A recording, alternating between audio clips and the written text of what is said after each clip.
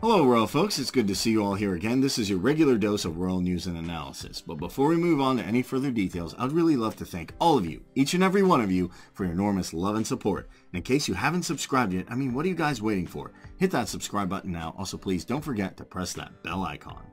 Prince Harry will be wearing his military uniform when he takes part in a special vigil for Queen Elizabeth II this Saturday.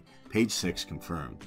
A source exclusively tells Page 6 that Harry, was previously told he could not wear the military uniform, did not request the change. He simply prepared to wear whatever his grandmother made plans for. He focused on honoring her, and that's it. If they like him in uniform, I have no reason to think that he wouldn't oblige, our sources say. A source told the Daily Mirror, who first reported the news on Thursday, that it was a ludicrous situation in the first place. The Duke of Sussex served his country and is a highly respected member of the armed forces, with everything he has done for veterans, a source told the newspaper. It is important that the Queen's grandchildren are all made to feel welcome and comfortable as they grieve for their beloved grandmother together. The GB News Royal reporter Cameron Walker wrote on Twitter, understand it was the King's request that Prince Harry would be permitted to wear the uniform when the Queen's grandchildren stand vigil beside her coffin on Saturday evening. It is understood that the Queen's grandchildren, at the King's invitation, are said to be very keen to pay their respects just as their parents will do this evening.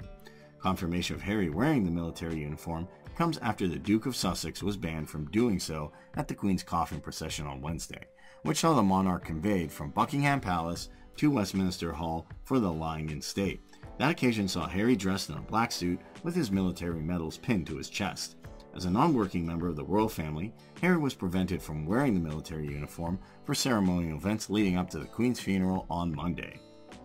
The same applied to the Duke of York, who was also a non-working member of the royal family. He walked behind the Queen's coffin on Wednesday dressed in a suit, while his siblings, King Charles III, Princess Anne, and the Earl of Wessex all wore military uniforms. So what do you guys think about this news? Do You think Harry is finally having a ray of hope for a royal return after this? Write down in the comment section below and let me know your thoughts for the same.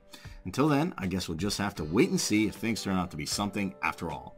Also, if you never want to miss any of my sizzling royal updates like this, subscribe and press that bell icon. It's as simple as that. So until next time, hasta la vista.